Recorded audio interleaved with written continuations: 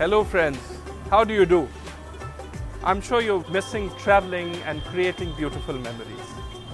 How would you like to visit Amritsar, home to the magnificent Harmandir Sahib, commonly known the world over as the Golden Temple?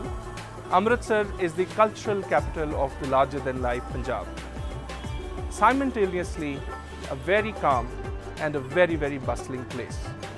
It is one of the oldest planned cities of India, running back to 443 years. We have planned a virtual tour where you will get to absorb the warm vibe, history, culture and food of this beautiful city, interacting with passionate locals and looking at the beautiful countryside, all with the comfort of your home. My name is Tarundeep Singh and I would love to show you the city I love. Ji